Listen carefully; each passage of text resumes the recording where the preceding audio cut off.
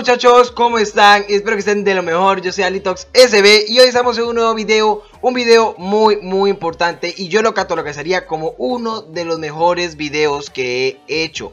Esto fue en conjunto con el equipo Phoenix Team, el cual dejaré su canal en la descripción y obviamente todos sus integrantes que son mis compañeros y la verdad hemos dado con algo muy muy bonito además de que es una intriga que teníamos desde hace mucho tiempo y la hemos dado explicar claro siempre bajo de nuestro punto de vista esto va, y el tema lo dice, la verdad de Omega. ¿Qué es lo que pasa? Que mucha gente entiende Omega como el típico hippie medio loco que busca ovnis normal. De hecho, hay una muy buena relación, y lo entenderíamos más o menos, en el, el video de Baroncito en el cual habla su relación con Omega, el tipo este de eh, el camper. El que hay un hippie loco que busca ovnis, pues esa es una muy buena relación. Y desde aquí le mando un saludo a Baroncito, que es una buena relación. Y de hecho le recomendaría que se viera la película, además de que es buena, podríamos ver más o menos cómo son ese tipo de personas. Sin embargo, nosotros los vemos como típicos hippies que simplemente andan en busca de ovnis. Pero en este video les vamos a dar un resultado diferente, ya que Rockstar bajo su punto de vista del juego nos quiere dar a mostrar muchísimas cosas y estos hippies normales no son quien dice ser.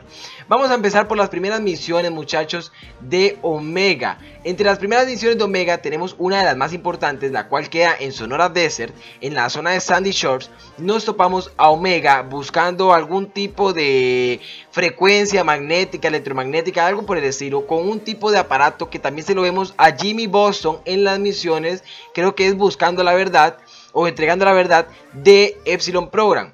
Cuando nosotros empezamos a, dialogar con él, te dice, wait, wait, stop. Te dice, espera, espera, para. Y te empieza a analizar con ese aparato. Lo primero que dice es Cardboard Based Life. Vida a base de carbono. Con el aparato. Es como el primer dato que da con ese aparato. Después eh, dice 6 feet tall, eh, yo lo tengo en inglés, pero esto sería 1,80 metro 80 de alto. Después dice que está bien, bueno, que su gordura es normal y que está bien proporcionado. Y dice que tiene una, distribución normal de grasa, ¿verdad? Obviamente eso es normal. Por último te dice Reading Earth, leyendo o haciendo la lectura. Eh, el aparato se le traba y le dice Shut. Vale, esa palabra tiene muchas pistas, por ejemplo, Shoot for the Star. Después, ojo, muy importante, llega y comunica a el tipo de walkie-talkie o recepción de radio que tiene ahí. Ese es un tipo de walkie-talkie que usan los guardas forestales para comunicarse. Un dato curioso es de que ese tipo de walkie-talkie o teléfono, se podría decir, o recepción de radio, tienen un rango. Se usa en bosques y digamos, para, se va a tratar de ser lo más explicativo. Esto, por ejemplo, lo tiene X guardabosques. Y otro X guardabosques se ubica en la otra extremidad del bosque. Están en lados contrarios, de extremidad a extremidad. ¿Ok? Hasta ahí bien. En el centro suele haber la recepción principal. Ellos se ubican en el canal 1.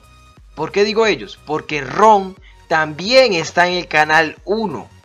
Omega y Ron tienen una similitud, que los dos tienen este tipo de radiotelecomunicador y los dos se encuentran en el canal 1. ¿Por qué creen que Omega se encuentra en esa zona investigando? Porque Ron no puede salir de la zona o el radio de alcance de la telecomunicación con Omega. Él se está comunicando con Omega.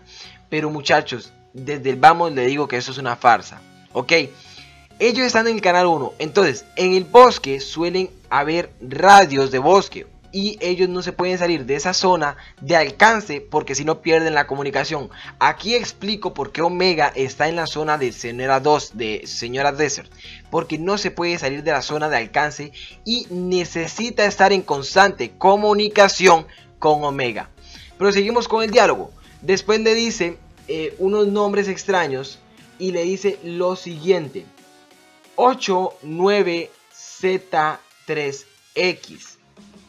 Eso no lo hemos logrado descifrar, pero tengo indicios de que puede ser una función cuadrática. Sin embargo, no hay ninguna elevación a la 2, por lo que aquí se perdería esa teoría. Una, una ecuación normal podría ser, o más bien una función cuadrática, que viene siendo lo mismo, pero con diferente nombre, pero el nombre real es función.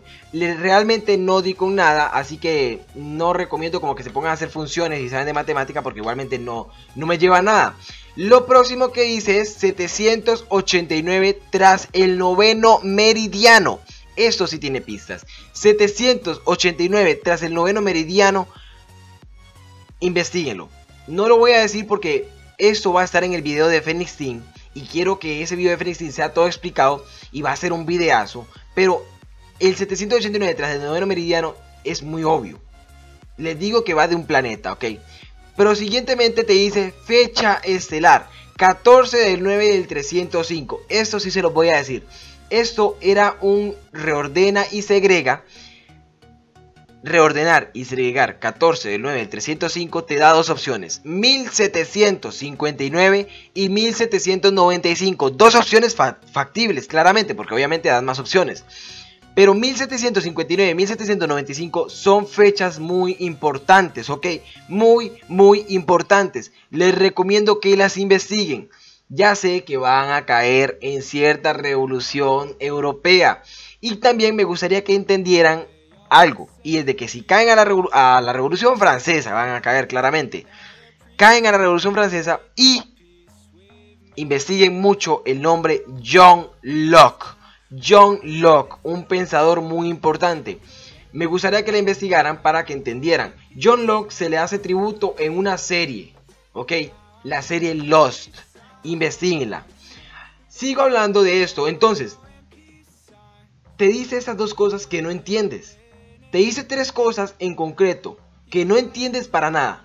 Es por algo. No es de que él sea un hippie que sabe todo sobre, sobre los misterios de los ovnis o ufos. Va más allá. Ya expliqué por qué tiene los, telecomunicadores, etc. Otra de las cosas que te dice es CVL. En una parte, está hablando con, con Michael, con Franklin, perdón, te dice CVL y se queda como tonto. Como si sabes, Gretin CBL. ¿Ah? Carbon Based Life, vida a base de carbono. La vida a base de carbono es muy importante. Nosotros en cierta parte tenemos vida a base de carbono, claro, cualquier químico lo sabe, pero no tanto como un planeta. Es el planeta azul, Urano. El planeta Urano es un, un planeta completamente a base de carbono, ¿ok? Este planeta es completamente a base de carbono y se le conoce como el planeta azul. Entre los físicos y los cosmólogos, realmente el planeta azul no es la Tierra, es Urano, es el realmente planeta azul y su vida es a base de carbono. En el video de Redfade te dice que Kraft, Kraft, el de Epsilon Program, viene de Urano. ¿Qué más conexión directa con ello? Acá les voy a dejar la, eh, la configuración electrónica del carbono, también eh, cierta parte de urano y porque esa base de carbono. Eh, también les dejaré su configuración química. Y otra cosa muy importante es que los rayos ultravioletas del sol que llegan a Urano, y esto no lo van a encontrar mucho en internet, a menos de que compren el libro de Stephen Hawking que te explica los agujeros negros. Este libro se llama Stephen Hawking, Historia del Tiempo en el Big Bang. Es un gran libro para los que les gusta la física, es uno de los mejores libros que existe que sea lectivo, o sea, que no sea de fórmulas. Y acá te explica más o menos lo que pasa en Urano con los rayos ultravioletas del Sol, que de rojo llegan a ser azules. Acordemos, Safo es roja, y Kraft es azul. Son simples relaciones, no estoy diciendo aquí que es la teoría definitiva, ¿ok? Prosigo. Entonces, el CBL es la vida base de carbono y te conecta directamente con Kraft. Ahora vamos a, explicar los tatuajes porque son importantes. Omega tiene dos tatuajes, un tigre y también tiene una golondrina. Y la golondrina es muy importante porque la golondrina es conocida en los griegos por su relación directa con Procne. Para el que no conoce a Procne y su historia en la ideología greco-romana, era la hija del rey de Atenas, de Padión I, y tenía una hermana conocida como Filómela, mm, Filómela creo que era así.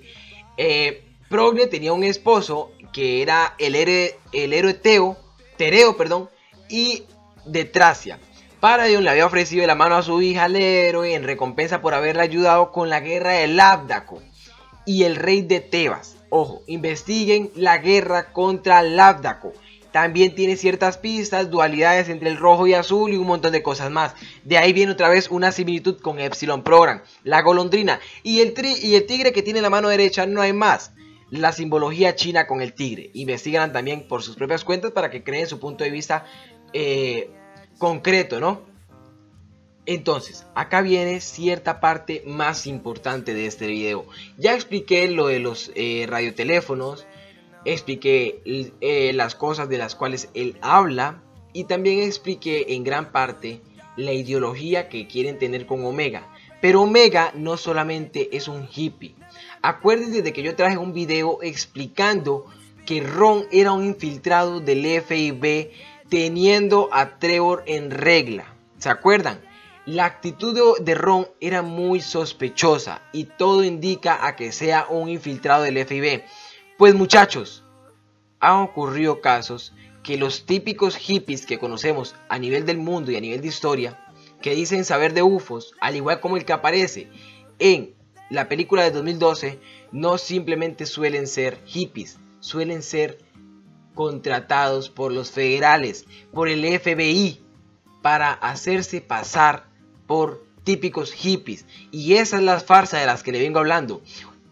Omega realmente es un tipo que sabe de mecánica, que posiblemente sea ingeniero en algún tipo de mecánica muy avanzada, se podría decir, no sé, tal vez nanotecnología, mecánica, mm, aeroespacial tal vez, y que fue contratado por el FIB por una sola razón, construir los ovnis. Porque realmente las partes de ovnis que tú encuentras fueron las partes caídas del ovni que está hundido. Y Omega se dedica a buscarlas y se dedicó a eso. Por eso después de eso no volvemos a ver Omega, porque concluyó su trabajo. Los ovnis se activan, como el ovni de Forzancudo, que es uno de los más importantes, fue construido por Omega para el grupo federal, el FIB, que monitorea a la base militar. Y ese ovni que está enterrado en lo más profundo del mar, ese ovni posiblemente sea real. Los federales lo encontraron y la IAA y contrataron a Omega para construir otros a base de ese. Y por eso su conexión directa con Ron, porque también Ron es otro tipo contratado por el FIB, pero que se dedica a investigar a Trevor y a tenerlo en regla.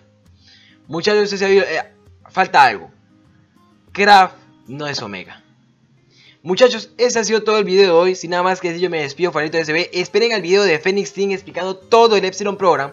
Eh, o al menos la relación con Safo y todo eso y su historia. Eh, no es de que vamos en contra de teorías de nadie. Nos parecen las teorías todas buenísimas. La de Refi es buenísima, explicando todo eso. Sin embargo, construimos nuestra propia teoría.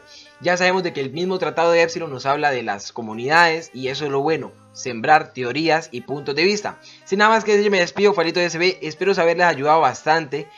No olviden de suscribirse, seguirme en mis redes sociales y hasta la próxima.